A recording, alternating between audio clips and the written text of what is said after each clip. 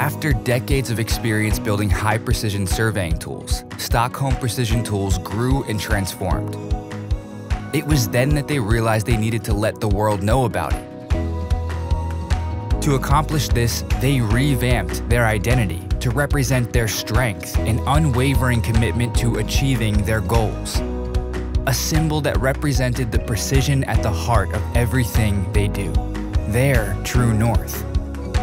While incorporating these new elements, SPT retained its original colors and adopted a minimalist approach that reflects Scandinavian design. This transformation represents a new chapter of possibilities, a new vision for the future.